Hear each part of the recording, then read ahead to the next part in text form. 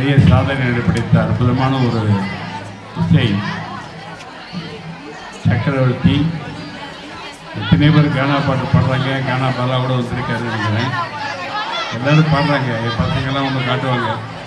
ஆனால் என்னதான் கானாதான் கானாவுக்கு ஆரிஜின் ஆரம்பம் மூத்த பாடகர்னா அது தேவா தான் அதே மாதிரி நான் நடித்த படங்கள் எல்லாமே அபை சண்முகியில் அற்புதமான பாட்டு.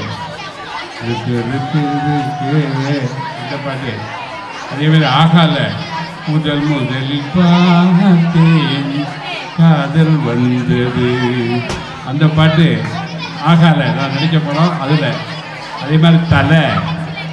நடித்த படம் வாலி. அந்த படம் வந்தோடு நிறைய பேர் காலி. அற்புதமான இசை அமைப்பு. நீங்கள் முதல் பாட்டு பா பார்த்தீங்க.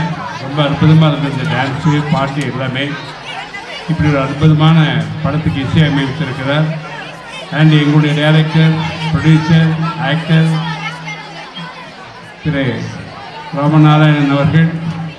நான் இன்னைக்கு தான் அவரை இப்போ படத்தில் பார்க்குறேன். இது வரைக்கும் நான் ஷூட்டிங்லாம் தான் பார்த்துருக்கேன். இன்றைக்கி படத்தில் பார்க்க ரொம்ப அவர் அழகாக இருக்காரு. செக்கச்சவே ஜம்முன்னு இருக்கார்.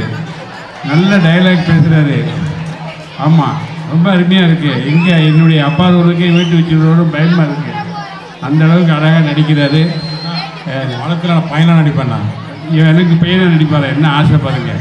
ரைட் நல்லா இருக்கு. அவருடைய நடை உடை பாவனைகள் எல்லாம் நல்லா இருக்குது நானும் மதன் பாபு இதில் ஒரு அருமையான கதாபாத்திரம் பண்ணியிருக்கோம் ரெண்டு பேருக்கு அடிக்கடி சண்டை வர்ற மாதிரி கேரக்டர் நல்லா இருக்குது மொத்தத்தில் படம் வந்து மாணவர்களை பற்றிய படம்.